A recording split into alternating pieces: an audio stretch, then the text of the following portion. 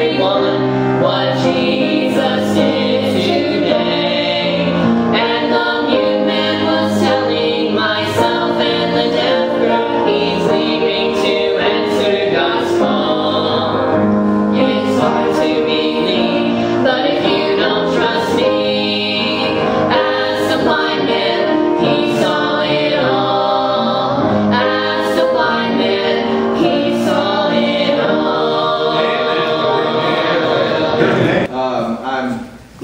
To uh, be here in the missions conference. Pastor Green's allowed me to preach each night at the conference, and that's a blessing. But my wife, let me introduce my wife. Honey, won't you stand? It's my wife, Joy. I'm one of those blessed men that have joy everywhere I go. and uh, as you can see, my wife is a native of the country of South Korea. Uh, I'm U.S. Army retired, active duty in the Lord's Army. Uh, retired from the Army, spent 21 years in the Army, U.S. Army bomb disposal. We had a safe job. Ones that, that would go into the banks and safe the explosives so you can continue putting money in there. And uh, God called me to preach out of Madison, Alabama, Madison Baptist Church, Madison, Alabama. Our pastor is Dr. Mike Allison down there. Some of you may have heard him or may not. That doesn't matter, does it? Uh, praise God. What, what does matter is that I was born again. I'm Amen. serve Him and given me the privilege of doing that in South Korea, where we minister predominantly our ministries to the United States military. Uh, I, I tell folks I spent 23 years on deputation.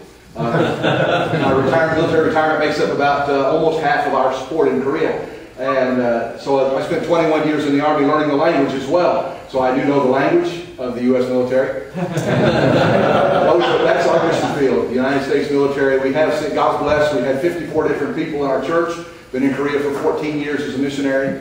And we've had 54 different nations represented in our church. People from nine different nations born again. Uh, people from nine different nations baptized. And people from five different nations have surrendered for ministry and are ministering on different areas of the field and different areas of the world. So God's been, has been more than good to us. Uh, and we praise the Lord for all that He's done and all that He's going to continue to do. Just before leaving Korea in March on our furlough, uh, resigned the church where I've been the pastor for 14 years. And uh, when we return to Korea in March of this coming year, we'll be moving south and planting a new church uh, outside of Osan Air Force Base, just further about, about an hour and a half south of where we've been for the last 14 years. Um, the reason for the move is our government is great wisdom has taken place. Um, when, uh, when Rumsfeld was the SecDef, he was in Korea and made the determination that we didn't need to be so close to North Korea. Uh, our headquarters, where we've been ministering, is in Seoul. It's 25 miles from North Korea. Uh, they, we know that there are 600 artillery pieces aimed at Seoul, Korea, and so our headquarters would vanish uh, when North Korea decided to come. It would just turn into a dust cloud. So they're moving all of our military further south, so we're going with them. And so we resigned the church, and the missionaries taken over that work, transitioning it into a Korean ministry, and we'll go south and plant a new church outside of Osan Air Force Base. So we'll continue to reach the U.S. military, and now God's given us an opportunity to reach the Korean military as well. Amen. So we're excited about the new possibilities. Ask you to pick up one of our prayer cards out there and pray for us as uh, we continue our furlough and get ready to go back. Amen. I'm pleased to have the honor of preaching to you this morning. The two of the hardest groups for me to preach to are children and pastors. I can preach to soldiers and I can preach to prisoners. Uh, those, those don't bother me. Children scare me to death, and preachers, what do you preach to a preacher? Uh, preachers preach every day. Uh, that's their life. What do you preach to a preacher?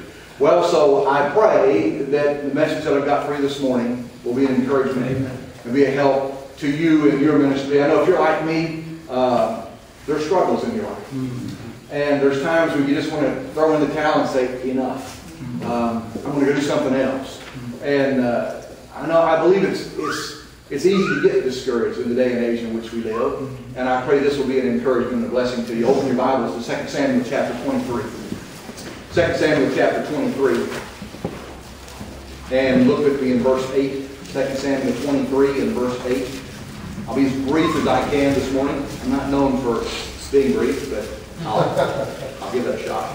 2 Samuel chapter 23, beginning in verse 8. These be the names of the mighty men whom David had. Tachmonite, that sat in him seat chief among the captains. The same was Adino, the Israelite. He lifted up his spear against 800 whom he slew at one time. And after him was Eleazar, the son of Dodo, the Ahite. One of the three mighty men of David, when they defied the Philistines that were there gathered together into battle, and the men of Israel were gone away. He arose and smote the Philistines until his hand was weary and his hand clave to the sword. And the Lord wrought a great victory that day, and the people returned after him only to spoil. After him was Shammah, the son of Agee, the Hararite. And the Philistines gathered together in the troop where there was a piece of ground full of lentils. And the people fled from the Philistines, but he stood in the midst of the ground and defended it, and slew the Philistines, and the Lord wrought a great victory. I want to preach on staying in the bean field. Staying in the bean field. Let's pray. Father, we love you this morning, and God, we are thankful that you've given us this opportunity to join together in fellowship, and Father, be under the preaching and teaching of your word. Pray, God, now your power would be upon me this day. Fill me with your spirit and use me this morning to be a help, to be an encouragement, and Father, to exalt our Savior and to honor and glorify him in all that I do. And I ask and pray this, Lord, in Jesus' name.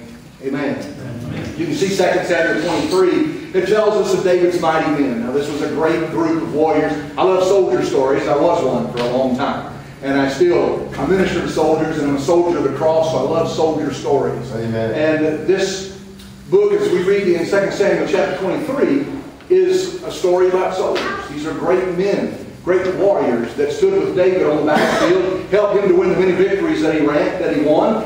And we see three very special men in this passage. Men that were personal bodyguards to, the, to David. And who, who could you have better as a bodyguard than men like those three?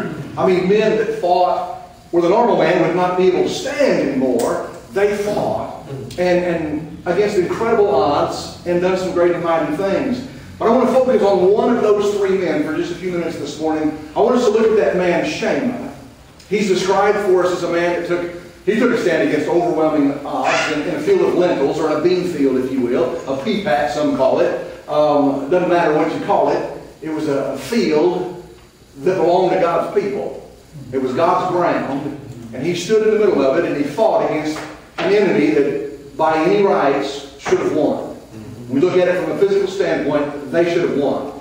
He was a man, I think, that you and I can learn much from this morning. The Bible tells us the Philistines attacked the people of God, and when they came, everybody ran, except this guy. He stood his ground. He stayed in one place. Um, he was a one-man army. He was one man that decided he was going to stay no matter what everybody else was doing. He was the one man that stood against an overwhelming force. And you see in the passage, he got a victory. He got a victory. There's three things I want us to see from this story. Um, but one of the things I want us to get is there's a time to stand and fight. Right. Um, there's a time to stand and fight, and there are things to stand and fight for. Amen. In the day and age in which we live, I know it's tough to stand and fight, but it hasn't changed. There are things to fight for. There are things that are important and things that we need to stand up and we need to fight for. But some of the things that we're going to see here. One, this was a time of great conflict. Look at verse 11. And after him was Shammah, the son of Agee, the Hararite, and the Philistines were gathered together into a troop. And there was a piece of ground full of lentils, and the people fled from the Philistines. It's clear in the Bible this was a time of great conflict for the children of Israel. I mean, if you read through the, the Old Testament, you find the children of Israel always in a time of great conflict. And, and it really hasn't changed, has it? They're still in a time of great conflict where they are today. Mm-hmm. Um, but we see God's people under attack here. Yeah. And I want you to, to see that there's three things we need to see about this time, about this place. One, we see when the enemy attacked. It said that the people were in the fields when they were attacked. Um, it leads me to believe this was a time of harvest. Right. You know, the only time you're in the fields, really, you plant and then you go back and you pick. I'm sure there's other times when you got to do work things, but when you plant, there's, there's nothing to attack the field for. Uh, there's, there's nothing there yet. So there must have been crops in these fields. And the people were working these fields when they were attacked by the enemy. Uh, they were working the harvest. I, I think that's a good lesson for you and I. How many times do you and I, as, as preachers and as other folks, find ourselves busy, even doing good things, doing right things, when we're attacked by the enemy? Uh, I mean, even sitting in your office studying, you be attacked by the enemy. Uh, my wife and I, we realized this not long ago where we've been on furlough since March. And, you know, I'm, I'm not getting younger. I'm 55 now. And well, when I started in the ministry, I was already getting older. I retired from the military. But it seemed easier then. I was in good shape, just got out of the military. Now I'm 55, getting older, getting slower, getting broken. And we find that the road miles get longer. They get longer. As you travel, it just gets longer. And we found ourselves complaining. And we were complaining about, oh, we, we got to go to this church, and we got to go to that church, and we got to drive here, and, we, we're staying in this hotel, and we're staying in this place, and staying in that place. And it's, it's not home. I don't have my pillow, and, and I don't have my blankie, and I don't, you know, all the things that we start thinking about that we were more comfortable when we were in our own place. And then we realized we're under attack here. That's right. Yeah. This, this is not right. We're serving the Lord. Amen. Even on furlough, as we drive from church to church and we stop to eat in Cracker Barrel, uh, and we leave gospel tracts with our tip in there. And this whole service to the Lord. Why are we complaining? Uh, we were under attack. So even when we find ourselves doing the right things, even when we find ourselves busy about good, busy about serving the Lord, you can come under attack. But oftentimes we don't even recognize it, that we're under attack. Simple things like murmuring and complaining in the work of the Lord. That's, that's an attack from the devil. He's just, God, got him. He's excited Yeah. about that. And it robs God from the glory that is He is so deserving of. Amen. When we start with that kind of an attitude, and it took us driving down the road, and we were talking, and then we both realized we're under attack here. That's right. This is this is this is horrible. We should not have this attitude. And we decided right then and there, no more victories for the devil. Right. We're just going to rejoice as we drive down the road. And, Amen. and uh, I don't know if many of you know Pastor Tidd over at Lighthouse Baptist Church, one of our supporting pastors. We got some music from his church. In fact, the song that they sang is one of the songs on one of their CDs. We put that in, and man, we just rejoice with, with the, the great music. We think about the Lord Jesus Christ, and we get excited about the next church we're going to be in and how God's going to use us to maybe be a help to someone there or be an encouragement to the preacher in some way, and we rejoice. Amen. We're not going to give the devil the victory. I think sometimes we as, as Christians and we as churches are like the church over in Ephesians chapter 2. You know, they were, they were a good church. They were a busy church. They were busy about serving the Lord. I think they got so busy doing good, they didn't even recognize it when the enemy slipped in and Right. stole their joy and Right. took away their love for the Lord. Right. That can happen to you and I. I think sometimes we get to that place. Nehemiah tells us how to be ready. He tells us how to be ready. Nehemiah chapter 4, verses 16 through 18 says, And it came to pass from that time forth that the half of my servants wrought in the work, and the other half of them held both spears and shields and bows and habergeons, and the rulers were behind all the house of Judah. They that builded on the wall, and they that bear the burdens, with those that laden, every one, get this now, every one with one of his hands wrought in the work, Right. and with the other held a weapon. Amen. They were working and ready at the same Yes. time. Right. You and I, we got to remember this is our only weapon. Amen. Uh, you look over to Ephesians chapter 6, he tells us all the armor we've got, all the protection. By the way, that's full frontal armor. Uh, there's nothing to protect you from the rear. You're not to be running from the fight, running into it. Uh, all the armor that he's given us is full frontal armor. I know something about that being in the bomb squad. The only offensive weapon we have is the sword of the Spirit. Amen. This is all we have. This is our offensive weapon. So these men, Nehemiah's time, they were building and ready.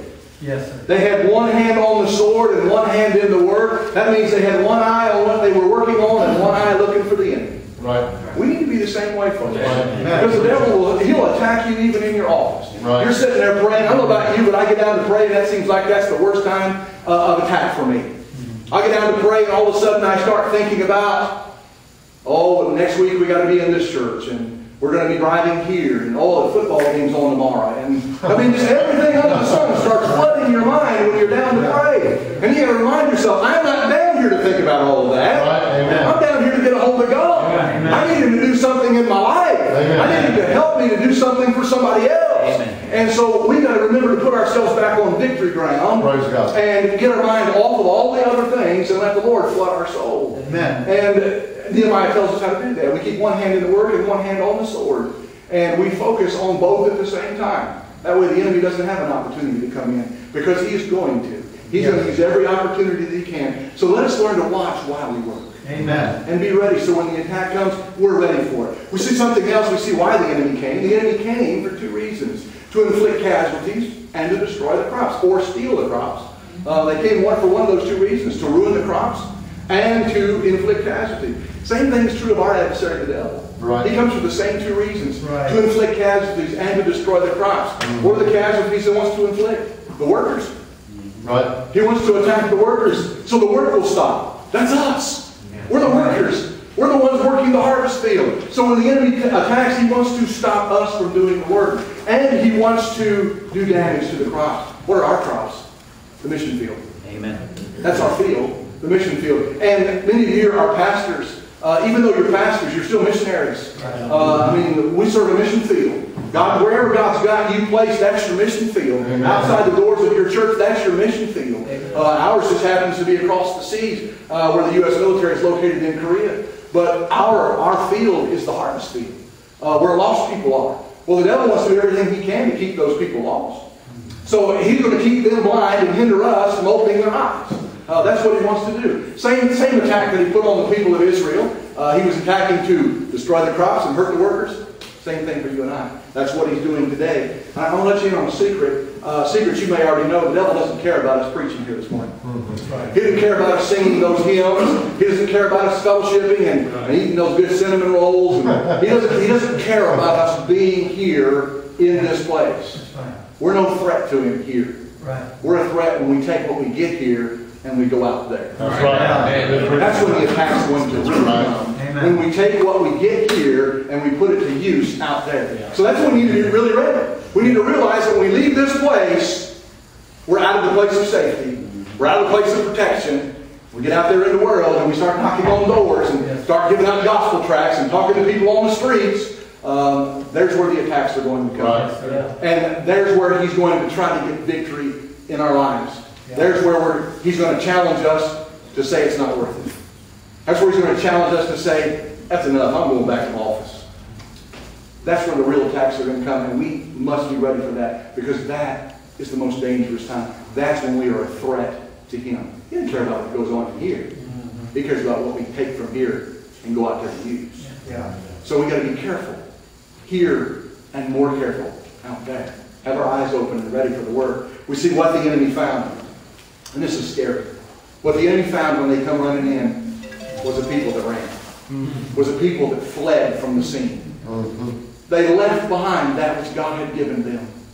And they were just going to let the enemy have it. They ran away. That's what they found. You know, God is working to reach the world with the gospel, and the devil is fighting him every step of the way. Right. Uh, he's, he's working, he's trying to stop God's work from happening. And I'm afraid in too many places, he's winning. Yeah. He is stopping God's work from happening in many places. And it's not because God's not doing the work, it's because the people that God put there stop doing the work. Right. It's, it's not God's job to win people to Christ. Right. It's our job. Amen. It's not God's job to get into a place and start winning people and bringing them out to the house of God. That's not God's job. That's our job. But in too many places, that has stopped happening. The workers, have, they, they fled. Yeah. They fled the ground that God has given. They left behind those things that God has given to them. And, and you see these people running, and it sounds so much like our churches today. Yeah. I mean, as a missionary, we go in a lot of churches. Uh, you know, for us, we have right around 38 supporting churches for my wife and I. We have a few more new meetings this year. Um, and every time we come back on furlough, we're kind of scared. What will we find this year? What changes will we find in churches this time? And I'll be honest with you, I'm a missionary that fires supporting churches. Uh, I I know that sounds weird. I had a pastor in Mississippi thought I was nuts. He said, no, churches drop missionaries. I said, well, sir, that may be true, but I'm a missionary that drops churches. Uh, We've had some of our churches that went Southern Baptist. We had one of our churches in Alabama. They were they were they were Faith Baptist Church. We went to the field. We came home, and they were the Church of the Living Water. What, what's that? and I just called the pastor and said, you can give your support to somebody else. We don't need it anymore. Um, you know, I hear people say, well, the devil's had that money long enough. Yeah, but my name's got to be associated with that. Yeah, Right. I don't want to represent that. I want to represent those that are doing the work of God. I want to represent those that are standing on thus saith the Lord. Amen. And so we, we do. We, and we're scared every time we come home. What are we going to find when we go into these churches? Praise God, we found many of them that are still standing true Amen. to the Word of God. Amen. But you go in, you know, and all of a sudden there's CCM music being played in the auditorium. It's like, they've lost it. They've lost it. And you see the changes as they gradually move closer to the world. What's happened? Somebody left the doors open let the world come in. That's right. Um, that's what's happening. Uh, they stopped standing their ground. They have fled. The enemy wanted to come in, they let them. Yeah. You know, and, and that's happening in homes with parents as well. The children, they see in the world what they want, and parents will say, ah, it's just easier, to let them have it. The parents have fled. They ran when they should be standing their ground and fighting. Amen. Churches are doing the same thing. When they should be standing their ground and fighting, they're fleeing and allowing the world to come in and take that ground which belongs to God. Right. And so we're scared every time. Because that's what the devil wants. He wants the churches to leave their doors open so he can bring it right on in. Whatever the world has, he wants to bring it into the house of God. You know, and I don't know about you, I'm not about a huge crowd. I'm about a church. If God wants a huge crowd, he can bring a huge crowd.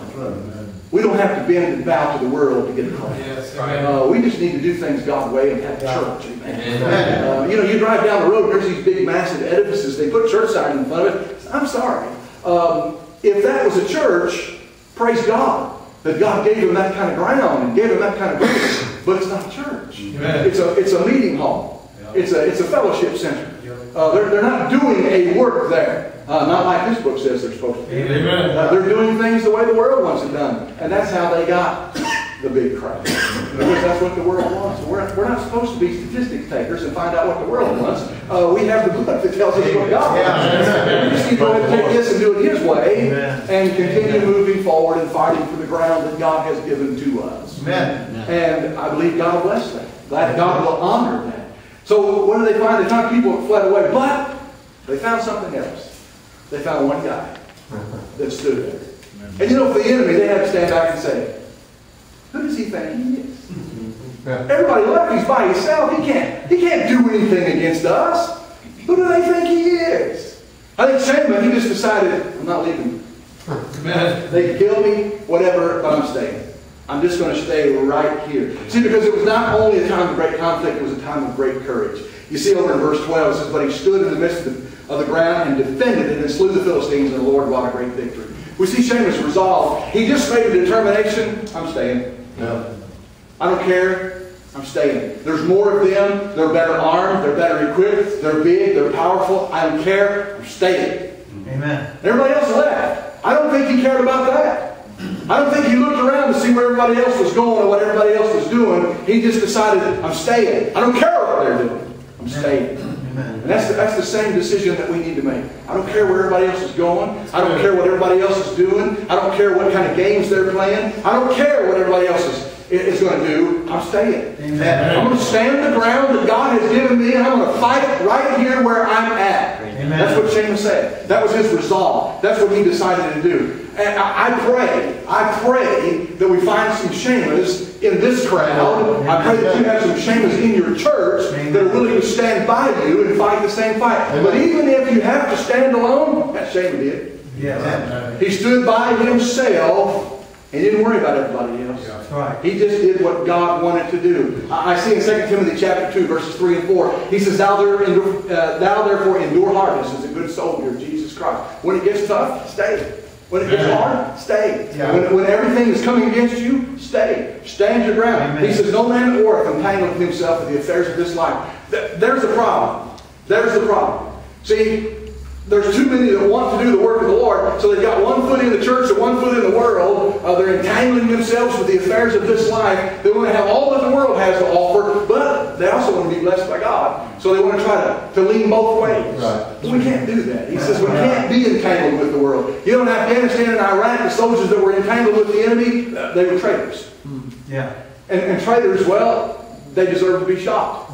That they do. They deserve to be shot. They're traitors. And we have too many Christians that are entangling with the world. Yeah. Um, they deserve to be shot. Now, obviously not physically. and we can't do that. Uh, we can't do that. But that's what a traitor deserves. They deserve to be shot or hung. Um, so we're not supposed to be wrapped up with the world. We're supposed to be wrapped up with God and do what God wants to do. And that's what they found. They found a man that was ready to do what God wanted to do. I mean, God had given these people this ground. You say it was just a bean field. Not to shame them. It was God's ground. Amen. It was God's ground. It belonged to God's people. And he wasn't giving it up. He was going to stay and fight for it. Why?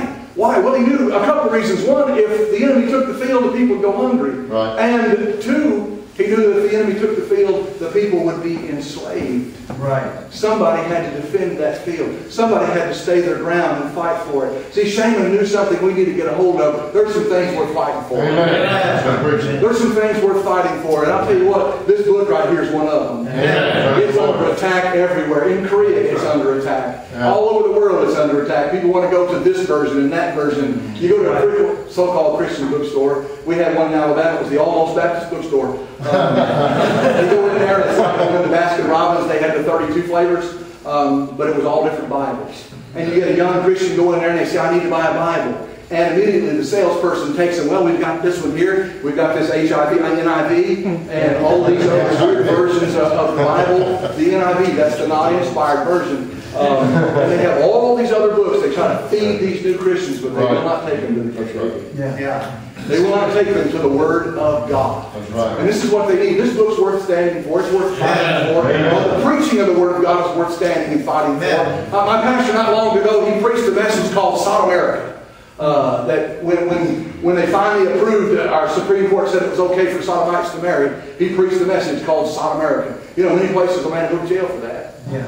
Well, I'm sorry, preaching the Word of God is worth fighting for. It's worth standing for. And if I got to do it from behind bars, well, John Bunyan did. Right. Uh, I can too. I can too, and so can you. We'll just start prison ministries all over the world. Um, but this book is worth fighting for. The preaching of this book is worth fighting for. Yeah. This, the, the house of God is worth fighting for.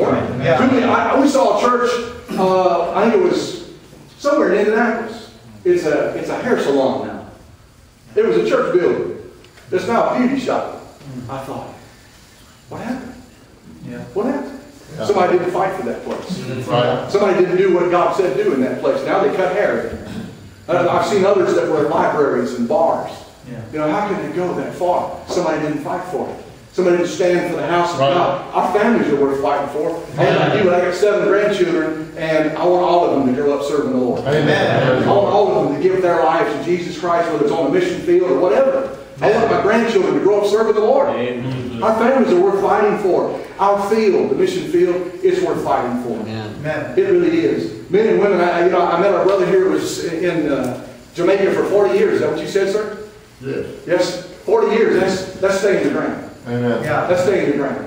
That, that's, that's what we need. Our mission fields are worth fighting for. Amen. We, got, we got more missionaries coming home than are going. Yeah. That's got to stop. Right. That's got to stop. I, I don't know why that is, but it's got to stop. I, I, I've met missionaries that used to be in Korea, now they're doing something else in America. It's, well, why aren't you still over there? There's 50 million people in that country. There's a handful of Bible preaching churches. Yeah.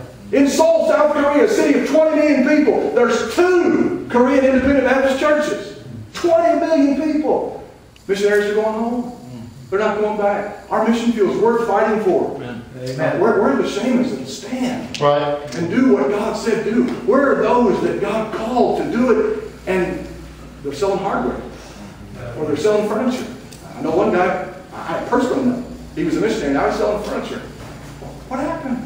Yeah. What happened? Where are those that God has called? They should be standing their ground. Where are the moms and dads that are going to say, I'm fighting for my kids. The devil's Amen. not getting them. Amen. I'm turning off the television, turning off the video games. I'm putting away all the garbage the world wants them to have. And I'm going to stand for my kids. Amen. I'm not buying them a cell phone. I'm not giving them a smartphone so they can walk around looking like an idiot falling in the fountains while they're texting everybody. I'm not doing that with my kids. I want to train them up right for the Lord Jesus Christ. Their Bible's going to be one they carry in another bound book. Amen. Yeah. I get so tired of going in and seeing everybody sitting in church looking at an iPad. I don't know if they're sending text messages, playing games, or what. Uh, I told our church in Korea, don't you bring that in here. You bring the Bible. People see you walking down the street with an iPad, you could be going to Starbucks. People see you walking down the street with a Bible in your hand, they got a good idea where you're going. Yeah. So let's keep a testimony about ourselves. That's I, Amen. I tell our people. Man, let's, let's use the book. Amen. There's some things worth fighting for, some things worth standing for. Amen. Then we see Shammah's reward. And I'm going, I'm going to end it right here. Shammah's reward. Amen. Why did he get a reward? He stayed. Yeah. I, I don't believe Shaman was really any different than any other man. I mean, I, I'm one that believes that, that Samson was about five foot two and weighed about 90 pounds. Uh, you see in movies that Samson looks like a great big burly muscle bound. Uh, I don't believe Sam, Samson looked like that. I believe Samson was about five foot two and weighed about 95 pounds because God got the glory and not Samson. Yeah. You know, if he was a great big man, everybody said, oh, Samson's a powerful guy, but no, God got the glory out of his life. I believe Shammah was the same. I believe he was just a regular man that decided, I'm going to let God use me. Amen. I'm going to stay my ground, and I'm going to let God use me. And guess what? God did. God did. Why did he get reward? He stayed. He stayed. He fought the fight that nobody else would fight. He stayed his ground, and he got a tremendous victory. But we need to remember, it wasn't Shammah doing the fighting. God was just using that man. It was God's battle. God won the victory. It wasn't Shammah. He's not the one that gets the glory. He's not the one that gets the credit. But he is remembered for the one that stood. Right. He's, he's remembered as one that stood his ground and stayed when everybody else ran. Everybody else, they were cowards. But not Shammah. He overcame the fear and he stayed. And he fought the fight that nobody else would fight. When they all ran, they were remembered as cowards. He's remembered as a man, as a man that stood. You know, I, I, I, want, I like to look at, at gravestones. Someday I'll probably be looking up at one, but uh, I'd rather get raptured so I can look down on them. But all of us are going to see a gravestone someday. It's going to be ours. You know, on there it's got the date you were born, and the dash, and the date you died. You know what the important part of that is? The dash. Right, amen. Because that's your life. Mm-hmm. Yeah. What is your dash going to represent? Mm-hmm. What are you going to remember? What are you going to be remembered as? You know, when, when, when they see the dash, they go, oh man, I remember that guy. He preached with fervency. There was fire in his bones. There was fire in his pulpit. Oh, I remember that preacher. Is that your dash? How will you be remembered? James Dash, his name is in the Bible. God put his name in the book as a champion for Christ. Isn't that the way we want to be remembered? As champions for our Lord. Amen. This man took a stand when nobody else would. Why him? He decided, I want to be used. God used me. And God used him. Mm-hmm. A one-man army. He stood against great odds. You know, and, and folks, I, this is what I believe about Shammah.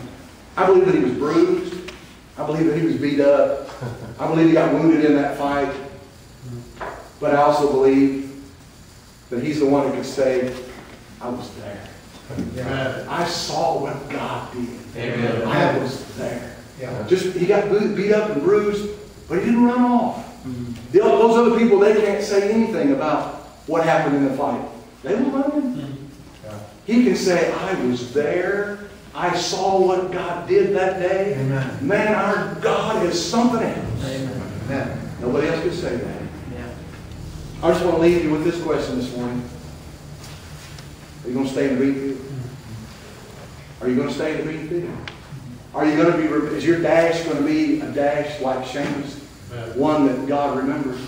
When you stand before, your, your name, well, it won't go in the Bible because it's already finished. Um, but you will stand before Jesus and just as good as your name being in the Bible is well done, thou good and faithful servant. Amen. from the Lord Jesus Christ. What's your dash going to be when the time comes? My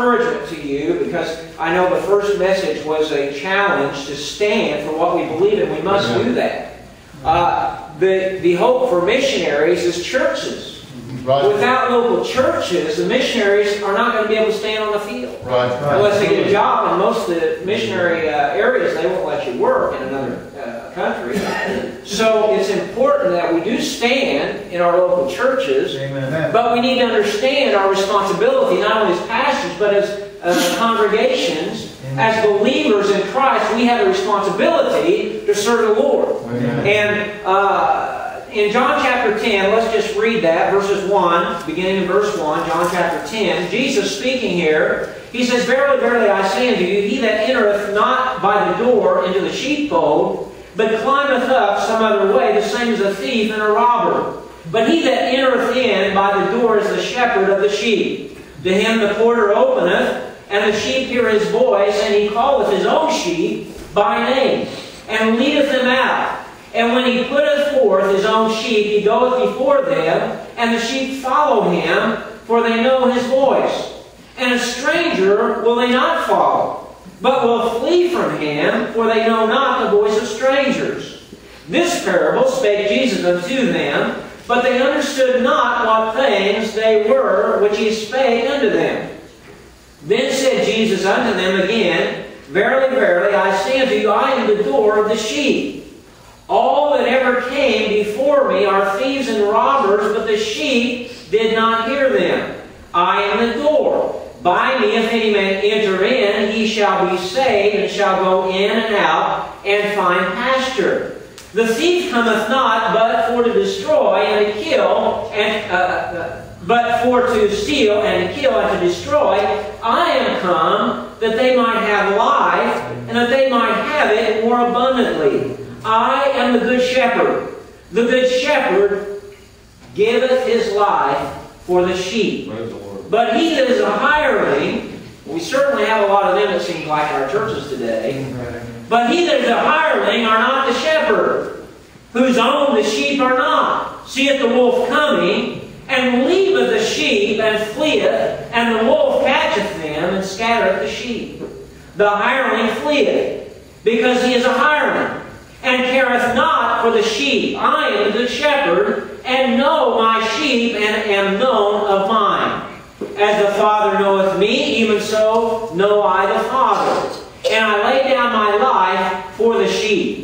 And other sheep I have, which are not of this fold, them also I must bring, and they shall hear my voice, and there shall be one fold and one shepherd. Therefore doth my Father love me, because I lay down my life, that I might take it again.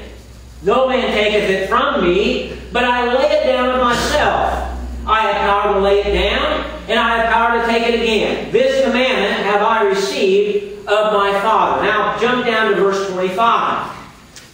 Jesus answered them, I told you, and ye believe not. The works that I do in my Father's name, they bear witness of me.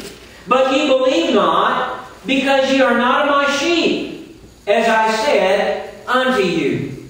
My sheep hear my voice, and I know them, and they follow me.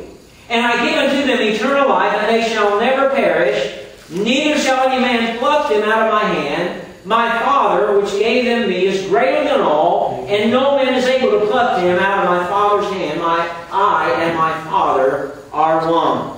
Now I want to read a, a section in 1 Peter chapter 5. 1 Peter chapter 5, verses 1 through 4. The elders which are among you I exhort, who am also an elder and a witness of the sufferings of Christ, and also a partaker of the glory that shall be revealed. Feed the flock of God, which is among you. Take the oversight thereof, not by constraint, but willingly, not for filthy lucre, but of a, a ready mind. Amen. Neither as being lords over God's heritage, but being examples to the flock. And when the chief shepherd shall appear, ye shall receive a crown of glory that fadeth not away. Likewise, ye younger, submit yourselves unto the elder. Yea, all of you, be subject one to another, and be clothed with humility. For God resisteth the proud, and giveth grace to the humble. Let's have a word of prayer. Father, we thank you for this opportunity. And Lord, I, would, I pray that you would encourage our hearts today. Especially, Lord, I pray for every pastor here today that is trying to feed their flock. And Lord, it's very clear that most of the congregation has no idea what the burdens are on the pastors. Our, our pastors carry burdens that other people have no idea, only you know. And Lord, I pray that we would be an encouragement this morning. I pray that we would stand our ground and stand for the truth of your word. And Father, I pray you encourage every pastor, every uh, congregation, every church represented here this morning, that we would realize that we are in a battle. And Lord, we must stand for your word. And Lord, no matter what comes upon us, no matter what trials we face, we don't face them alone. We face them with you. Now, the Lord, be with us this morning. Help me as I preach this word. In Jesus' name, amen. amen. The discourse of the Good Shepherd continues the same setting as in chapter 9. Comparing people to a shepherd and a sheep is common in the Middle East. Uh, kings and priests called themselves shepherds and their subjects sheep. And we tend to do that today. The Bible, as we know, makes frequent use of this analogy. And many of the great men of the Old Testament were shepherds. For example, Abraham, Isaac, Jacob, Moses, and David. And as national leaders, Moses and David were both shepherds over Israel. And some of the most famous passages in the Bible speak of this. For example, in Psalms chapter 23. Psalms chapter 23 says, The Lord is my shepherd. I shall not want. He maketh me to lie down in green pastures. He leadeth me beside the still waters. He restoreth my soul. He leadeth me in the paths of righteousness for his name's sake. Yea, though I walk through the valley of the shadow of death, I will fear no evil. For thou art with me, thy rod and thy staff, they comfort me. Thou preparest a table before me in the presence of mine enemies. Thou anointest my head with oil, my cup runneth over. Surely goodness and mercy shall follow me all the days of my life, and I will dwell in the house of the Lord forever, and ever. Another passage is in Isaiah chapter 53, verses 6. It says, All we like sheep have gone astray. We have turned every one to his own way, and the Lord hath laid on him the iniquity of us all. In uh, Luke chapter 15, verses 1 through 7, it says, uh, the, Then drew near unto him all the publicans and sinners for to hear him. And the Pharisees and scribes murmured, saying, This man receiveth sinners and eateth with them. And he spake this parable unto them, saying, What man of you, having a hundred sheep, if he lose one of them, doth not leave the ninety and nine in the wilderness and go after that which is lost until he find it? Right. Mm-hmm. And when he had found it, he layeth it on his shoulders, rejoicing. And when he cometh home, he called together his friends and neighbors, saying unto them, Rejoice with me, for I have found my sheep which was lost. Amen. The Bible mentions shepherd and shepherding over 200 times. The Hebrew word for shepherding is often translated feeding. And shepherds often lead sheep to water. Shepherds oftentimes protect the sheep from wild animals. Right. Uh, often shepherds guard their flocks at night, whether in the open or in the sheepfolds. So they have a responsibility to guard. Shepherds count the sheep as they enter. Shepherds take care of the sheep, even carrying weak lambs in their arms. Right. And shepherds give sheep the essentials of life, such as food and water. Shepherds are an example to the sheep. And I want to speak to you concerning the shepherd and the sheep this morning. And pray that this is an encouragement to you and a challenge because we have a great responsibility. Especially as a pastor, you have a tremendous responsibility to the flock that God has called you to. Right. And so, uh, first of all, I want to share the shepherd's responsibility. You know, the primary role of the preacher, of the shepherd, is to tend or care for, to feed, to nurture, and to encourage. The shepherd's responsibility is to protect his flock. The responsibility of the shepherd is to lead and teach and train or equip that sheep to be able to stand for what he believes. Mm-hmm. And we are to feed people God's Word. Amen. John 21, 17 says, He saith unto him the third time, and asked Simon this question, Son of Jonas, lovest thou me? Mm-hmm. Peter was grieved because he said unto him the third time, Lovest thou me? And he said unto him, Lord, thou knowest all things, and knowest that I love thee. And Jesus said unto him, Feed my sheep. Amen. You love me, feed my sheep. Tremendous responsibility. Amen. 1 Peter 2 2 says, As newborn babes desiring the sincere milk of the word that ye may grow thereby. Mm-hmm. We don't feed newborns meat. Right. We begin with the milk mature and have the ability to chew the meat that we've been given. Right. Amen.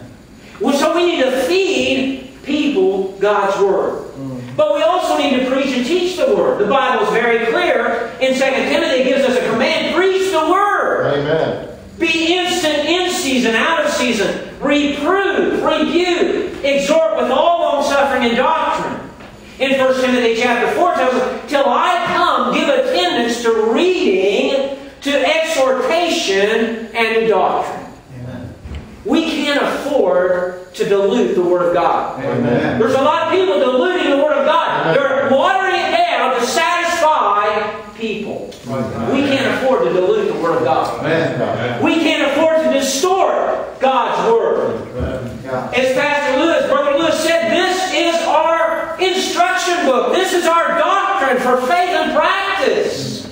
If we throw this away, we have nothing to stand. Right. Right. Right. We can't afford to distort it. We can't afford to deviate from God's Word. This is what we must stand on Amen. and what we must stand for. Amen. That's right. Serve the church by equipping the saints. Ephesians chapter 6 tells us about that. Putting on the whole armor of God. Instructing the sheep to be defensive, but we also need to instruct them to be offensive. That's right. So we see, first of all, the shepherd's responsibility, his primary role, is to feed people God's Word and preach and teach the Word. Without diluting, without distorting, and without deviating from the truth. Secondly, the personal role of the shepherd, the preacher must, number one, be without reproach. We are an example, not only to the sheep in our congregations, we are an example to the world. Uh, the personal role of the preacher means a character. The kind of character that we, we say we are Christian because we are Christ-like. We become Christ-like in character, in thought, in what we do and how we act. The preacher must be above reproach in 1 Timothy chapter 3. The preacher must have a good reputation in verse 7, the first part of verse 7 in chapter 3. We must live godly before the world, 1 Peter 2.12. The preacher must have the essentials of ministry. What are those essentials? First of all, we must have the essentials of prayer. We have to get right and get alone with God. I believe in the very morning that we raise up. One thing, Pastor, my pastor always taught us to begin your day with prayer and the Word of God. Because as Pastor Lewis said, we are fighting a battle, and you don't know what Satan's going to have for you that day.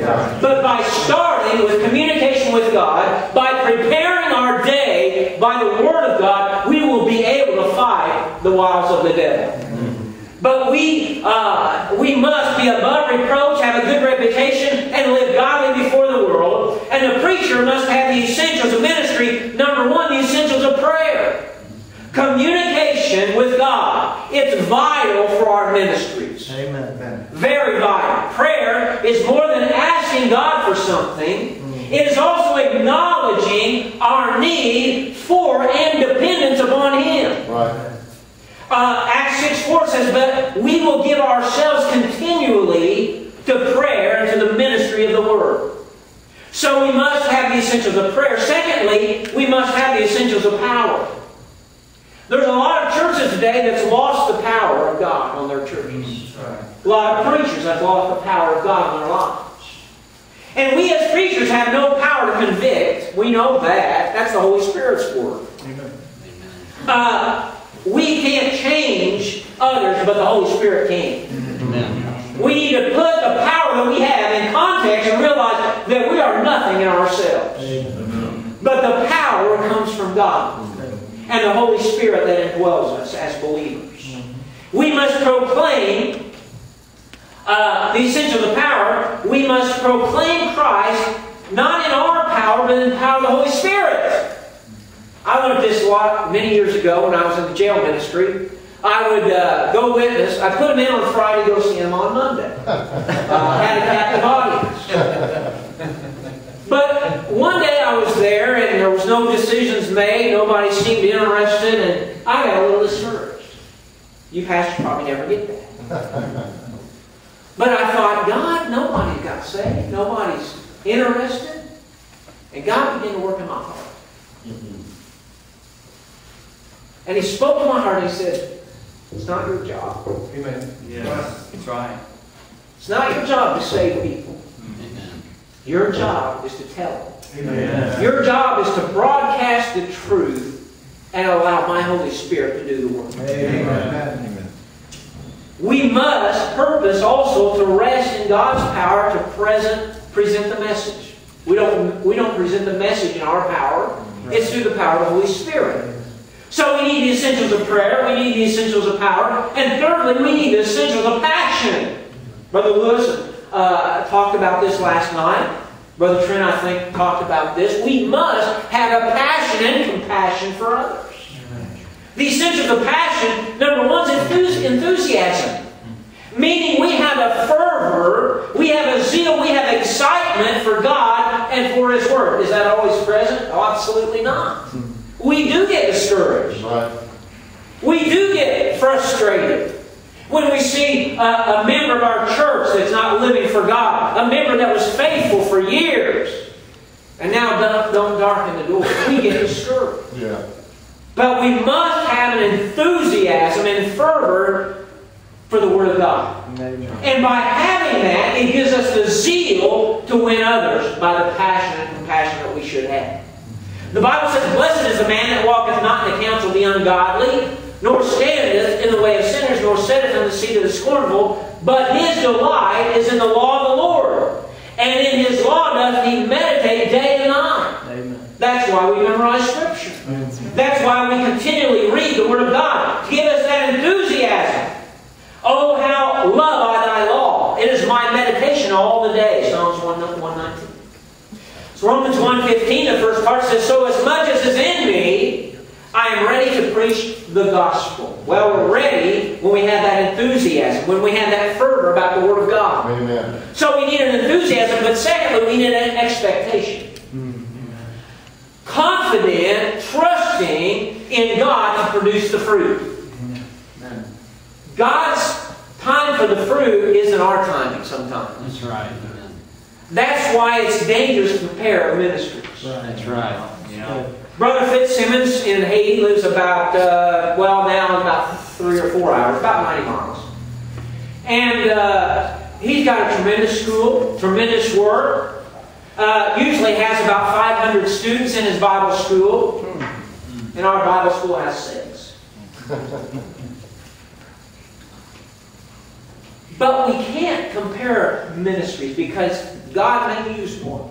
That's right. That's right. And that's all it takes to change a country, Yeah. to change a world. It can only take maybe just one. Maybe a youth, maybe a child in your youth ministry that God's going to raise up and use that one to the work. We don't know.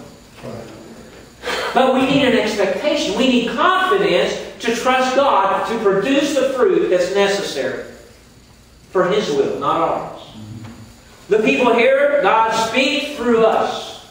So we have to have our hearts right. We have to be prepared. We have to have enthusiasm. But we have to have expectations.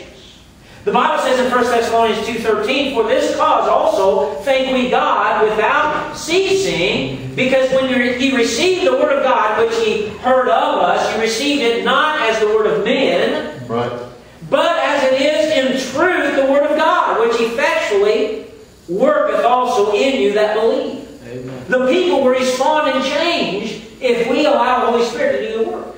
Mm. For our gospel came not unto you in word only, but also in power, and in the Holy Ghost, and in much assurance, as you know what manner of men we were among you for your sake. And ye became followers of us and of the Lord, having received the word in much affliction with joy of the Holy Ghost, so that ye were examples to all that believe in Macedonia and Achaia. The people will be saved if we just do what the Lord wants us to do. Right. The people will uh, be instructed and encouraged by the Word of God. For I am not ashamed of the gospel of Christ. It is the power of God unto salvation to everyone that believeth, to the Jew first and also to the Greek. Amen. It's that power. Faith cometh by hearing, and hearing by the Word of God. Romans 15, 4 says, And whatsoever things were written aforetime were written for our learning, that we through patience and comfort of the Scriptures might have hope. So, the personal role of the shepherd, uh, we are, uh, the, the preacher, we have to have power, prayer, power, passion, enthusiasm, expectation. And then the third thing we see, the purposeful role of the preacher. Well, our text speaks of loving the sheep. We have to have a love for the sheep. We have to be able to have a protection concerning the sheep. We have to have guidance and leading of the sheep. We have to have provision for the sheep, a presence with the sheep, a personal relationship concerning the sheep, intimate knowledge of the sheep, sense of security for the sheep, sense of belonging, unity and cooperation with the sheep. So the shepherd's responsibility. Second, the sheep's qualities. The sheep's qualities. Sheep have weaknesses and infirmities.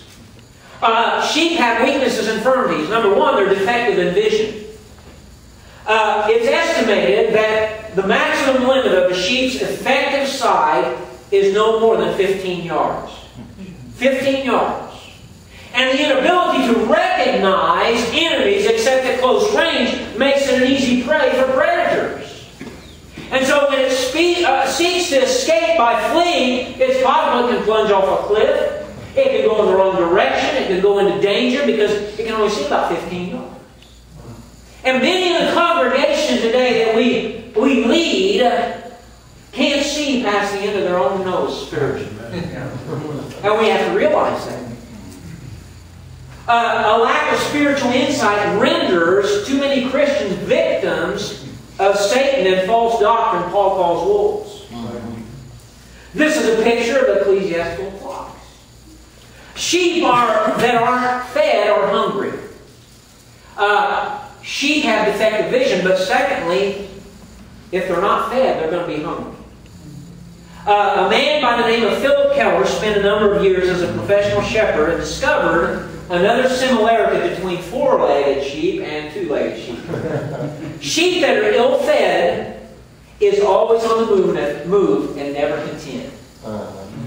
If they're not fed properly, they're not going to be content.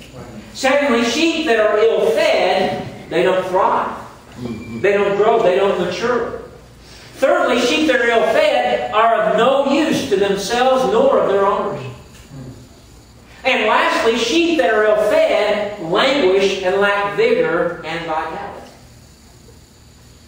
He understood that. He was a shepherd.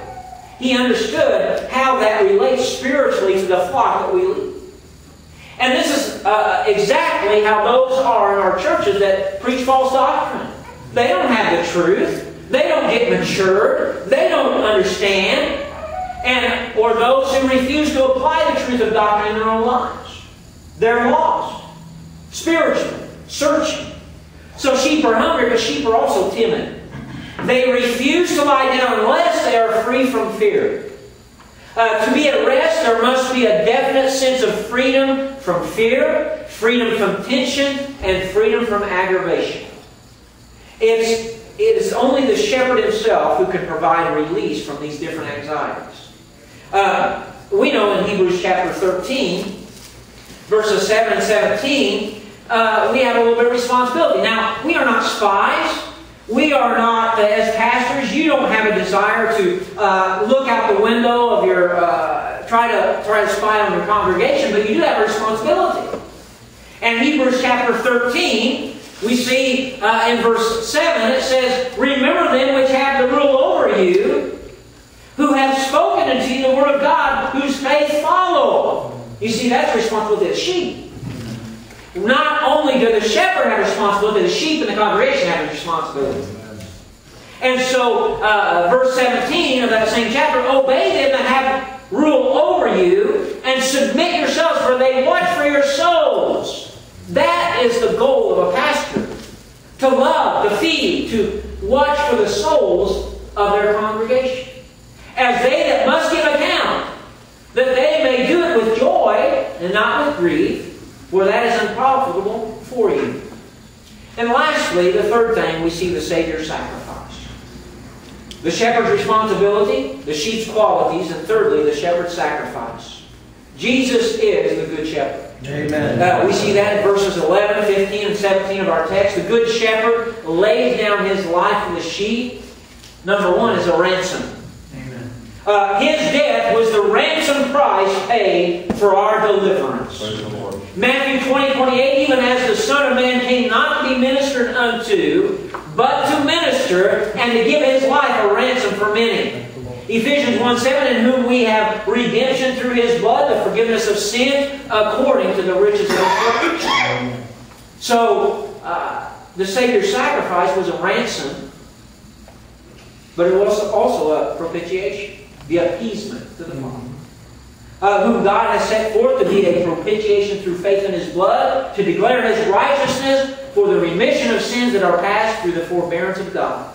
1 John 2 2. And He is the propitiation for our sins, and not for ours only, but also for the sins of the whole world. 1 John 4 10. Herein is love, not that we love God, but that He loved us and sent His Son to be the propitiation for us. Amen. Thirdly, as a reconciliation. To resolve animosity between two people is what that means. Mm-hmm. Between man and God. Jesus Christ is the bridge that brings us back into the right fellowship. Praise the Lord. Praise God. For if when we were enemies, we were reconciled to God by the death of His Son, so much being reconciled, we shall be saved by His life. Also as a substitute, who His own self bare our sins in His own body on the tree, that we, being dead to sin, should live unto righteousness, by whose stripes ye were healed. Amen. 1 Peter 3.18, For Christ also hath once suffered for sins, Yes. the just for the unjust, that he might bring us to God, being put to death in the flesh, but quickened by the Spirit.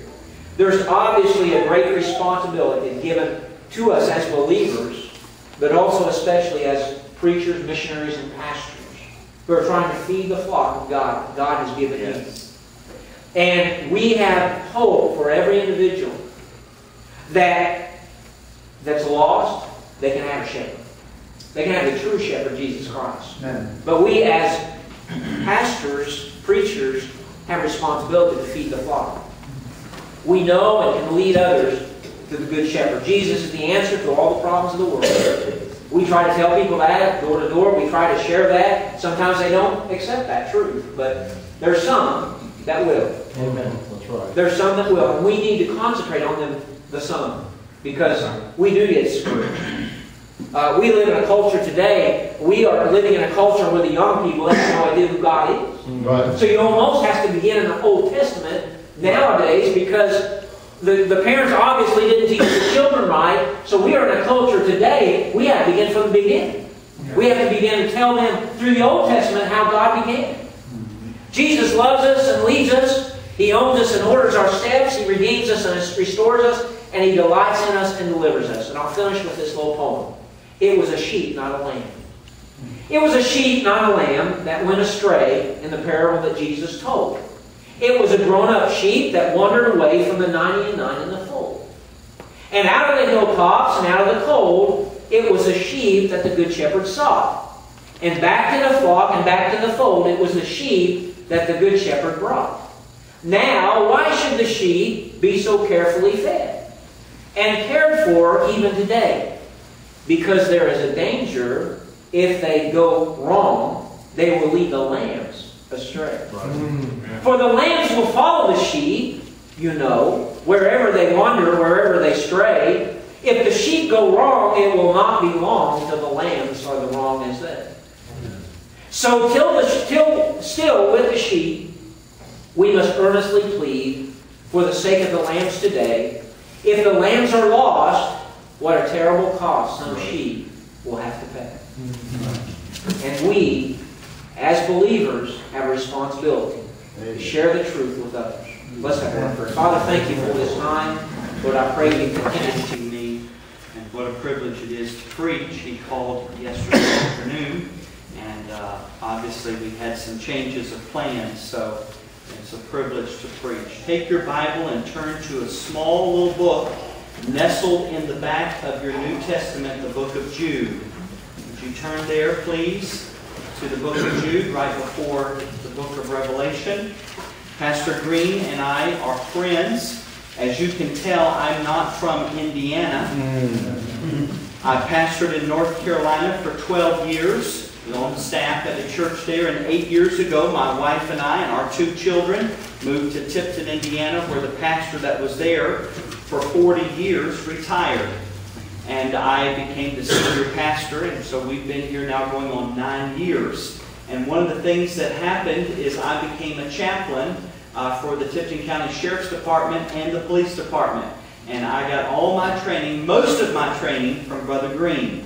And I'm grateful for that and for his uh, help in that area. Last Tuesday night, we were in the Kokomo, uh, or the Howard County Correction, uh, the jail, as we would call it.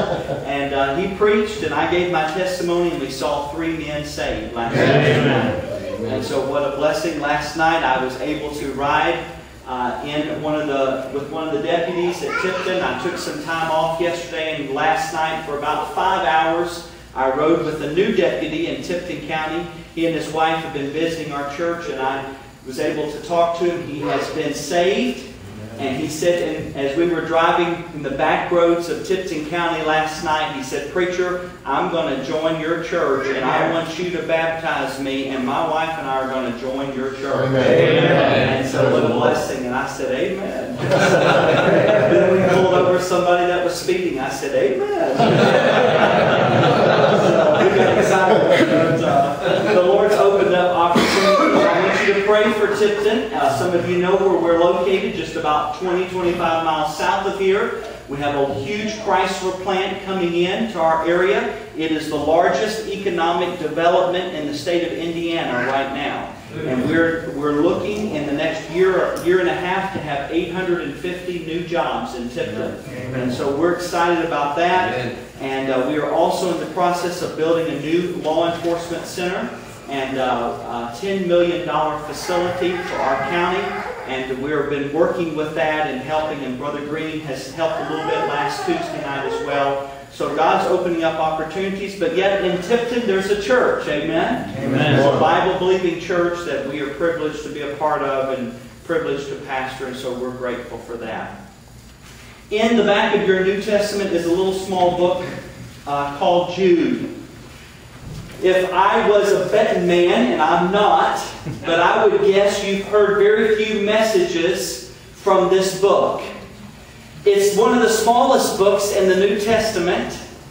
It only has 25 verses, but it is packed full of wisdom and great truth for us today. Jude penned this book under the inspiration of the Holy Spirit. His name was really Judas. You may not realize that, but he addresses himself as Judas. And as you, as you look at this book, you wonder, well, why isn't it named Judas? Well, short, Jude is a nickname or a shortened for, uh, name for the word Judas. Perhaps they put Jude at the title of this book because there was another man in the New Testament that we all know of named Judas Iscariot. And my guess is that perhaps when this was penned, some 50, 60 years after the life of Christ, if your name was Judas, you weren't really that popular. Uh, that was not a good name to have uh, after the uh, crucifixion and the resurrection and the ascension of the Lord Jesus. But nonetheless, Judas or Jude, a servant of Christ, penned this book with God's help. And so I want us to look today at a few thoughts from this book as we look through the book of Jude. And I want to begin by reading in the very first verse. He identifies himself and he says, Jude, the servant of Jesus Christ and brother of James, to them that are sanctified by God the Father and preserved in Jesus Christ and called. Mercy be unto you, and peace and love be multiplied. Beloved, when I gave all diligence to write unto you of the common salvation, it was needful for me to write unto you and to exhort you that ye should earnestly contend for the faith, Amen. which was once delivered, uh, faith which was once delivered unto the saints. For there are certain men, verse 4, crept in unawares, who were before of old ordained to this condemnation, ungodly men, turning the grace of God into lasciviousness, and denying the only Lord God and our Lord Jesus Christ. As we begin to look through this verse or this book, we're reminded of what God has done in our life. And I like verse number one, the very first book, the very first verse that he pens. He reminds us that we are sanctified. He says, I am a servant of Christ, the brother of James. This man that penned this book was the half brother of Jesus. Right. Amen. And it's interesting, he never mentions that Right, yeah. when he begins this book. Yeah. You say why? His emphasis was not on who he was. Right. Amen. His emphasis was on the function that God had called him to do. Right. And if you look at verse number one, it's very obvious. He makes it very clear that he was a servant of Jesus Christ. Right. Amen. Now you just think with me, if you would, quickly. I don't know about you, but if I grew up in Jesus' home and I was his half brother, the son of Joseph and Mary, I think I'd want a lot of people to know that. hey, look at me. I grew up with Jesus. I knew what Jesus was like. He didn't do anything wrong. and really, he didn't. Amen. But I mean, I, I played Tonka toys with Jesus. I say that respectfully. I, I ate with him, and, and we shared a bedroom together, and we did everything together. We played outside. But he never mentioned any of that. Right. He said, I'm a servant mm. Right. of Christ. And may I remind all of us here today, preacher, the greatest thing I believe we can be is servants for Christ. That's good. And he mentions this. He says, I'm the servant of Christ, the brother of James. And then he writes to the early church, he says, to those that are sanctified. I'm glad we're sanctified today. When we get saved, he sets us apart. Christ sets us apart for him. Amen. We're sanctified. Then he also says we're preserved in Jesus Christ. Not only are we sanctified, we're secure in Christ. Those of us and all of us here were of like faith. We believe in the eternal security of the believer. And I'm thankful for that rich doctrine all through Scripture. Uh, we believe in eternal salvation. Uh, we believe, I use this phrase in, in this neck of the woods, and Brother Hahn, you know this, and there's not there's a lot of churches in this neck of the woods that doesn't believe this, but we believe once saved, always saved. And we believe that, and Jude just points that out so wonderfully. Preserved in Christ Jesus, in Jesus Christ, and called. We're sanctified, we're secure, and we're selected. Praise the Now Lord. watch this. We're never selected. God doesn't select certain people for salvation, but He does select and call people to certain areas of life and ministry. When I was 16 years old, I was called to preach.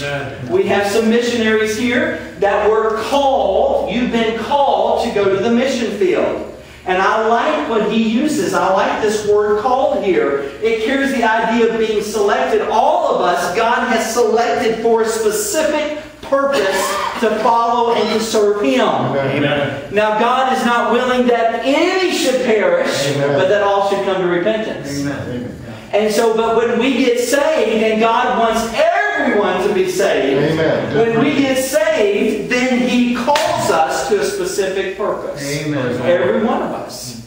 And we have the privilege, many of us here have the privilege of pastoring or serving in full-time Christian service. In our pews, in our churches, preacher, many of your congregation will never preach. They'll never pastor. But that doesn't mean God cannot call them to do something. Amen. And we need to pray for laborers. Amen.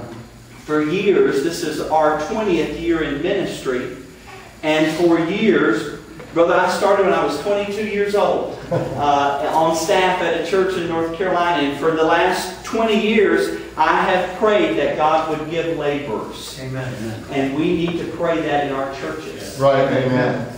And so we see this introduction here. He reminds us that we have been sanctified, we're secure, and we're selected. God has called us to a specific purpose. And he comes to these people and he pins this to the early church. He says in verse 3, he uses a word that he uses twice in this epistle. He uses the word beloved, the first word in verse 3. So he comes to them with a sense of compassion, and we're going to see in a moment one of the key verses in this epistle. But I'm reminded today that when we come to people, we must come to them with compassion in our hearts. Amen. And so he wrote this epistle, Jude wrote this epistle, penned it rather, because there were false teaching coming into the church. If you've studied this epistle, you will understand the theme of this book. This little small book in the back of our New Testament was, was a book that was written to warn us Amen. of false teaching. And he begins to give them that idea in verse number four. He doesn't name names, although we would probably have a tendency to name the name. Right. But I like what he says. He says, There have been certain men Yeah. that have crept in unaware, that are already condemned. They are ordained to this condemnation. They are ungodly men, verse 4, turning the grace of our God into lasciviousness and denying the only Lord God and our Lord Jesus Christ. And so today, in the time that we have remaining, I'm going to give you three thoughts today. Number one, the characteristic of these false teachers. Number two, the conduct from these false teachers. And then number three, I'm going to give us some conclusions to help all of us here today. So we see the, the characteristics of these false teachers again in verse number four. We see that they were cunning. They were certain men that crept in unaware. They came in, as we would say, through the back door. How could these people come into this church and stir up false teaching? Listen, we know from looking at our world today, it's not that hard. Right. that's true. And I appreciate what the first brother said here, our missionary to Korea here. I appreciated what he said in his message. Brother, you stole some of my thoughts.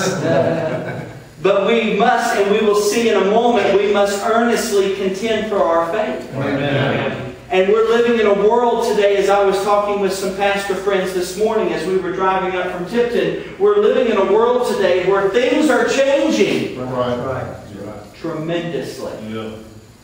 Our church this year, Brother Green, will celebrate its 115th year in Tipton. Amen. And all these years, believe it or not, we've been an independent Baptist church. And I told our people this past Sunday as we get prepared to celebrate our 115th anniversary this fall, that I hope uh, for another 115 years, if the Lord tarries, that the message that is being preached today at First Baptist Church will be preached 115 years from now, if the Lord Amen. tarries. Praise God. Amen. And you ought to pray that for your church as well. Lord. And we must earnestly contend for the faith. They were cunning. They came in. They crept in unaware. Number two, they were condemned by God already, as I have mentioned. And Jude mentions it here as he pens this verse. He said they were ordained to this condemnation. They've not been saved. right. Amen. They are condemned by God. Then, number three, they were doing wrong. Look again at verse number four. They were ungodly men, turning the grace of God into lasciviousness. Don't we see that today? Amen. Yes. We see it all around us. They were cunning, they were condemned, they were doing wrong. And then the verse tells us, lastly, number four, they were denying the only true and living God. Again, our verse says, deny the only Lord God and our Lord Jesus Christ. Now, when we look at verse number four, I want to make a comment or two and I'll move on quickly. When we look at verse number four, a lot of times we look at this verse and we can equate it to cults in our society today. There'd be no debate in this crowd that we would all agree that Jehovah's Witnesses are a cult. Amen. We would agree that Mormonism is a cult in America. Amen. We would agree that Islam is a dangerous religion, and I would say this without apology it is a cult in our world today. They know not the God we serve. Right. Their God is not the same God we serve. Amen. But I'm thinking of where I live. Brother Hahn, I'm thinking where you pastor. Brother Green and others around here in central Indiana, we have a lot of false teaching right outside our back doors. right. And without naming any names, I want to remind us today that there are churches around us that claim to be Christian, but they preach another gospel. In our neck of the woods, for those of you that aren't from here, baptismal regeneration is a big heresy that's being taught in many of our churches. That baptism is a requirement for salvation. And we know, as Bible believing Christians, as Baptist men and women here, that baptism is never part of our salvation. It's an act of obedience to our salvation. It's an identification with Christ. But that is a false teaching that we deal with today. We live in our world, in our, in our town of Tipton. Uh, several years ago, we had a very predominant family in our church. They were very faithful. In fact, he grew up in our church. In fact, Brother Green, he even went off to Bible college for a couple of years. He came back and married a girl. They got active in our church. He sang in the choir. They were very active, and today they're in the Church of Christ in our city. They were pulled away by that group. Yeah. That group that believes in restoration theology and baptismal regeneration. And, and you have to be baptized in our church in order for you to go to heaven. And we are the true church. Yeah. Mm. They believe and they propagate that false gospel. That's right. And so we're battling these things and we see them. Um, we say, well, we see the Mormons once a year knock on our door, or the Jehovah's Witnesses. Listen, every day, preacher, we have to battle false teaching. In Tipton, we have a Christian church that's with the disciples of Christ. It's a predominant church in our town of 6,000 people.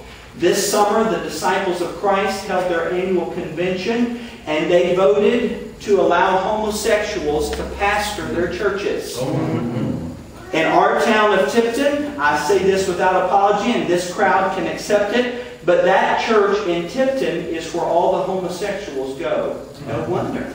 Yeah. If they allow the preachers to live that lifestyle and ordain it, then certainly that's where they would go, that lifestyle of people. So we battle with these things all around us, these false teachings. We don't have to go to Utah and look at a cult all around us. It's right in our backyard, some of this false teaching. We need to be aware of it. So number one, we see these characteristics. Number two, I want us to see the conduct resulting from these false teaching. And Jude does such a wonderful job. He does a whole lot better job than I do. He gives three stories. Now, I'm not a very good storyteller. Perhaps you are. But if I tell a story from behind my pulpit, Brother Green, I have to literally write it all out and almost read it, or I will stumble through it. But Jude here does a wonderful uh, uh, uh, storytelling object lesson in verse 5, 6, and 7, under, of course, the inspiration of God and the Holy Spirit. as he was penning these words, he gives three stories. And I want us to focus on these quickly. Look at verse 5. He says, I will therefore put you in remembrance. He said, Now remember, remember. He says, Remember, though you once knew this, how that the Lord, having saved the people out of the land of Egypt, afterwards destroyed them that believed not. So, number one, he tells them and reminds them of the children of God that came out of Egypt. Right, yeah. Number two, it gets worse. He says, And remember the angels, verse 6, which kept not their first estate, but left their own habitation. He hath reserved in everlasting chains under darkness unto the judgment of the great day. So then he takes them back to Genesis, I believe, chapter 6, and he says, Remember the fallen angels? and how they, and there's a lot of different interpretations, we've got uh, several professors here from IBC, so I have to be careful because they may look at it a little different than I, and it's not an easy uh, story to, to pan out in our minds, but from what I understand, God created these angels and they fell and they, and they, they came down to earth and they inhabited with human beings. They left the very nature of God that they create, that God created them in. Mm-hmm. But then it gets worse. Look at verse 8, 7. He reminds them again of Sodom and Gomorrah that's been mentioned already today. Verse 7 Even as Sodom and Gomorrah and the cities about them in like manner, giving themselves over to fornication and going after strange flesh, are set forth for an example, suffering the vengeance of eternal fire. He used a strong language there. We see the conduct resulting when false teaching came in the church. Examples of what happened in Egypt and in the wilderness, and examples of what happened at early age of our earth, and examples of Sodom and Gomorrah will begin to take place in our world today and in our churches. Let me give you three quick thoughts about each one of these. When we look at Egypt in verse number 5, they were guilty of unbelief. If you look again in verse number 5, God destroyed them that believed not. There were many that left Egypt and they wandered in the wilderness for 40 years. We know the story. And they wandered. You say, Preacher, why did they wander for 40 years? They wandered because they had unbelief in their heart. Right, yeah, that's true. Now, I'm going to be honest with you today. Probably one of the biggest things I struggle with as a preacher is unbelief. Yeah. You say, what do you mean, preacher? Well, yes, I put my faith and trust in Christ. I know that if I died today, I've been saved. I got saved at, at 10 years of age. I got saved off the bus ministry. Amen. I wasn't saved in a Christian home. My mom and dad never shared the gospel with me, but one day somebody came and knocked on my door and I went to a church and I got saved. Amen, Lord. And so I know I've been saved, I've been redeemed, I've been washed in the blood of the Lamb. God has called me to preach. I understand all that. But I'm going to tell you something. Sometimes I wonder, God, can you really do it in Tipton, Indiana? Yeah. Yeah. My guess is here there are some preachers and missionaries. Perhaps you felt that same way. Brother from Haiti, I appreciate your message. I'm good friends with the Fitzsimmons. Our church has supported them for 20 years. They're dear, precious people. Mm. And I appreciated the comments. He said we cannot compare our ministries. But I guarantee you, if Brother Rodney and his wife, Miss Kathy, were here, they would have to say that there's been times they wondered whether God would see them through. Yeah. We've all been there. Let's be honest. Listen, unbelief is, is something that we all struggle with in our life. The children of Israel struggled with it in the wilderness. We struggle with it on this side of the cross. We wonder, God, can you really see us through? God, can you really save that person that I've witnessed to time and time and time again? We must not give up, and I'll show you that in a moment. Unbelief. Number two, as we look at verse number six, the angels. There's a key word in verse number six. Probably the key word in that verse is the little word left there. And the angels which kept not their first estate, they left their own habitation. The word left there comes from a Greek word that literally means they intentionally left something behind. They willfully left what God had designed for their life. And the second story that we see in verse number 6 reminds us that these angels were without doubt disobedient to God. The children of Israel, they, their, their sin was unbelief. These angels, their sin was disobedience. They intentionally left the very nature that God had created them to be, and they co-inhabited with human beings on this earth that was totally against what God had designed them to be. Mm. They were disobedient. And then we come to a very familiar story, verse number 7. He reminds them of the story of Sodom and Gomorrah. We don't need to be reminded of that story. I had a preacher call me not too long ago, a, a fundamental Baptist preacher in this state that pastors a wonderful independent Baptist church, and he said, Preacher, I believe the dividing line that is going to face our churches today in America is the line on this issue of homosexuality. That's right, that's right. There's a lot of truth to that. I said, well, I never thought of that before. Right. But we're going to have to take our stand, and most of us here know what stand to take, and we've Right. already made that stand. Amen. But I'd hate to see the day, but it may come when, Brother James, you'll have to come see me in jail. Right. Or I'll have to come see you in jail for preaching the Word. We don't wish that upon any of us, but there may come a day. And so as we look at verse number 7 and we come to the conclusions, we see that uh, they, had the, they were guilty of the sin of immorality. Or you can even use a stronger word there. They were guilty of the sin of perversion. Now follow the trend, verse 5 and verse 6 and verse 7. Now stay with me for just a second. In verse 5, you see the sin of unbelief. In verse 6, you'll see the sin of disobedience. In verse 7, you see the sin of immorality or perversion. And listen, when false teaching comes into our churches and when false teaching pervades our land, you'll see people that have no belief in God. They'll fall into a life of disobedience and their life will be nothing but a life of immorality. And friends, that's what we're seeing in our culture today. That's right. That's true. And may God help us. Right. May God help us. We see it on the mission field. We see it in our backyard. We see it down the street. We see it in Washington, D.C. We see it all over the world. You show me a person that has no belief in God, I'll show you a person that is disobedient to anything that's in this book, that has Right. no moorings or no anchor for their soul, and I'll show you a person that will live their life in immorality. Yeah. In one form or fashion or another. Yeah.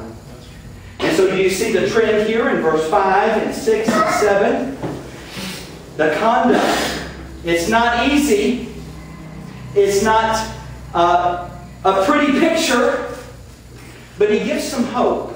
Now he uses some other stories in verses 8 through um, 18. I won't get into all that. He uses some other stories too, and he uses other stories from Old Testament. But he's reminding the early church here, and he does it with love. He says, beloved in verse 3, and he, he uses this word beloved in verse 20 again, and he comes to them gently. He reminds them of the state and the depravity of these people all around him and the false teaching all around him. He reminds them of that, but then he gives hope.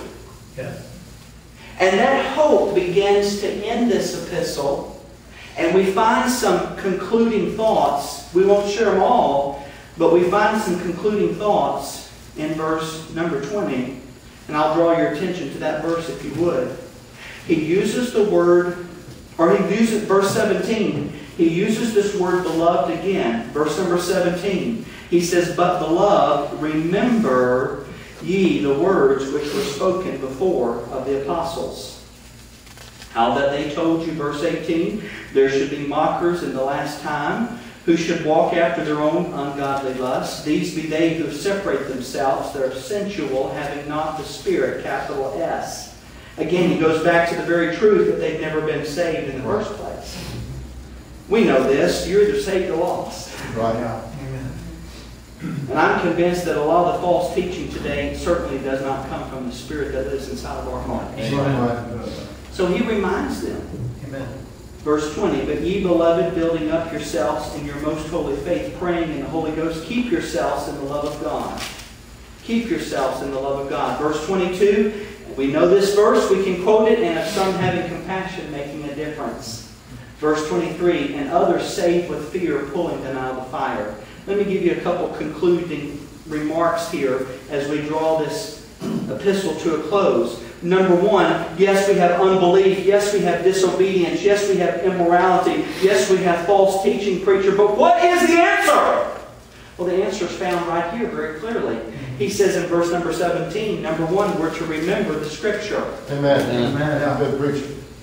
But beloved, and again, he comes to them as an, with a term of endearment. The word beloved there is a beautiful word. He comes to them with a term of endearment, and he gently says to them, Church, saints, remember ye the words which were spoken before the apostles. Today, we can remember the word. Amen. Praise the Lord. I appreciate what the messages said earlier. And we need to, we're all, these fellowship meetings, there's not a fellowship meeting that I don't go to, Brother Green, when someone doesn't just remind us to get back to the old book. Right. Amen. We don't need a new book, we just need to follow the old book. Amen. And he says, remember! Remember! So our mooring and our anchor and our standard is the precious Word of God. Amen. The inspired and inerrant, preserved Word of God for us. Amen. He says, remember the Word of God. Remember, and he uses, he even gets even more specific. He says, which the apostles, our Lord Jesus Christ, have spoke. So he goes back to validity. He goes back to someone that has credibility. He goes back to the apostles. And boy, if you were an early church Christian in this time, you dare not mess with the apostles because they were God's men. So number one, he says, remember the word, and we should too. Number two, he says, recall the times that we're in.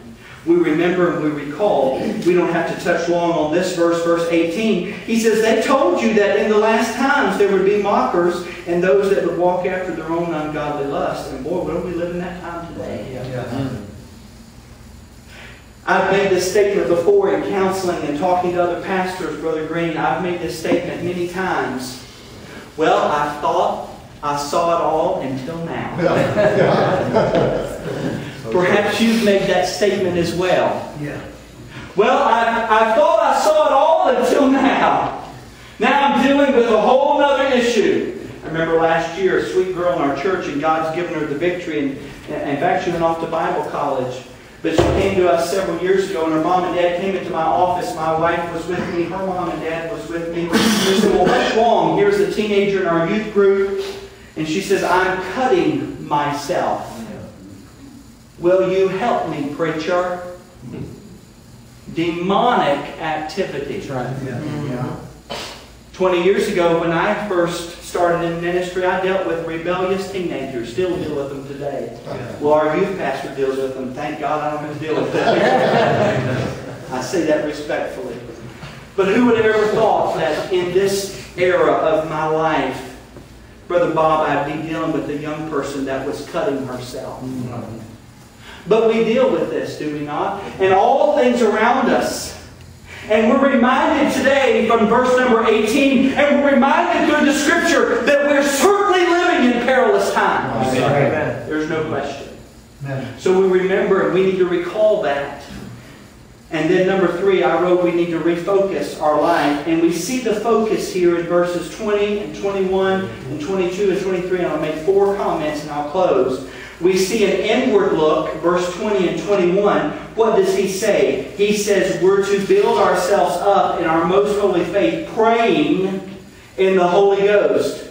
Listen, I'm not, mess, not going to preach a message on prayer today, but number one, we ought to be a praying people. Amen. We ought to take everything to God in prayer. Amen.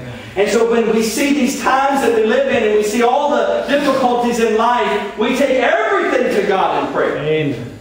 And so he remember he brings us inwardly. He says, look inward. You're to have a praying life. And then number two, you're to have a keeping life. And this is good for us that are preachers and us that are missionaries. Verse 21, he says, keep yourselves in the love of God. Listen, this word keep means to guard, to carefully take care of, to watch over. Listen, we need to be in love with Jesus like we Amen. were when we were first saved. Amen. Amen. And I know, preacher, I'm speaking to myself here, We've been beat down. We've been worn down. We've been criticized. We've been misunderstood. We've stood for God's word. We've stood for right. And people have misunderstood us, but we're to still keep ourselves in the love of God. Amen. We're to still keep it, keep ourselves in the love of God. Do you love Jesus? Amen. I hope you do. I have to check myself and remind myself, do I love Jesus? Amen.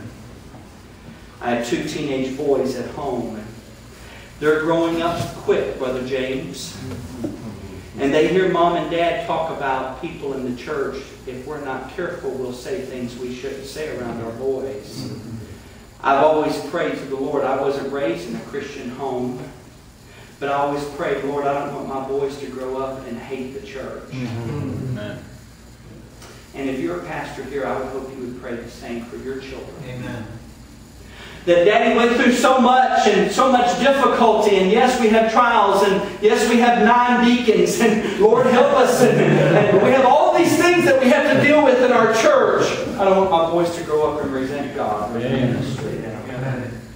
And so we have to keep ourselves, now watch this, in the love of God.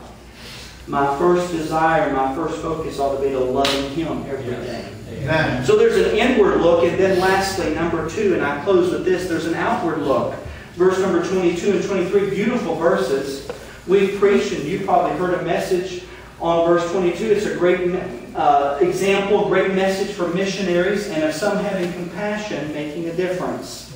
I wrote down caring. We're praying, we're keeping. Number three, we're caring. Compassion.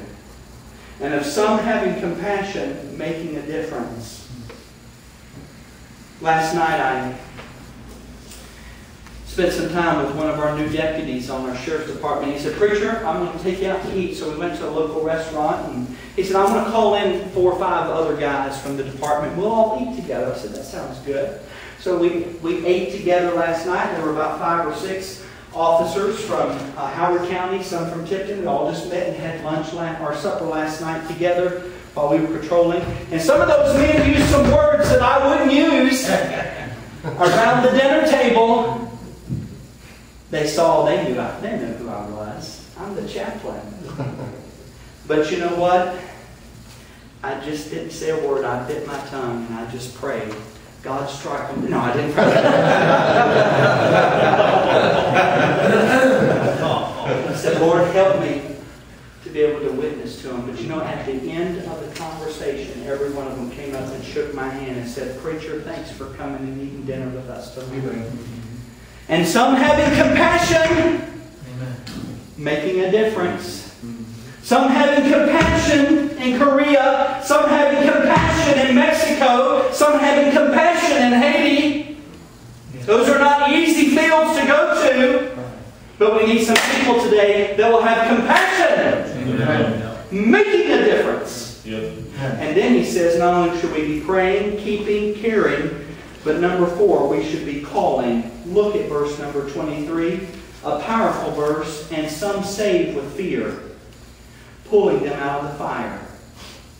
The word save there means to deliver or to protect. It carries the idea to heal or to make whole.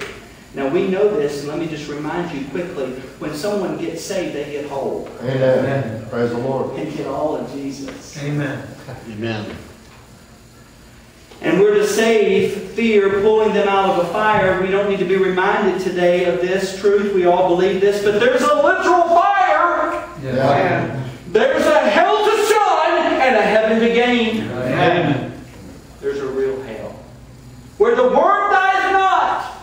And sinners that refuse to trust Christ and they refuse to be saved and they know not the scripture, they will die and spend eternity in the devil's hell. And we need to be reminded today that we're to be saving those, pulling them out of the fire, calling them to repentance, Yeah. Calling them to Jesus, calling them to come to the cross, Amen. Calling out, Will you be saved? Constantly calling them out. Amen. Out from the world Yes. to Christ. We must do that. Mm-hmm. And we must do that, and that must be our business. There's a lot of things we like to do. But the greatest thing, as we've been reminded today by this dear brother from Haiti, we must be fishers of men and we must go out and reach the lost sheep who need a Savior. Amen. So we're to pray, we're to keep, there's a praying, there's a keeping, there's a caring, and there's a calling. Amen. We must constantly call people. Whether it's in the jail, Brother Green, it's on a door, knocking on a door in Tipton, Indiana, it's in Muncie, Indiana, wherever your field is, wherever your vineyard is, we must constantly call people to the saving knowledge of Christ. A few weeks ago, I preached a simple message in our church, and over to my left here was a man and his girlfriend.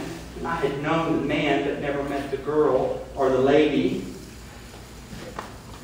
And I preached just a simple message, and I had everybody bow their head and close their eyes. I said, if you want to get saved today, raise your hand. Like many of you would do.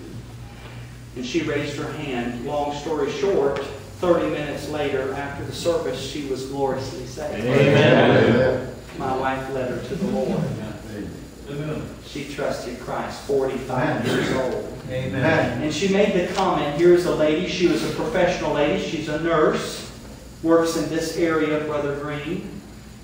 She has education, she has knowledge, but she made this comment, she said, I have never heard the gospel before. Amen. May we save people from the Amen. fire. Amen. Amen. And some having compassion, making a difference. The world is full of false teaching. But may we have that compassion, mm-hmm. saving them from the fire. Lord, I thank you for this little epistle, this wonderful book, rich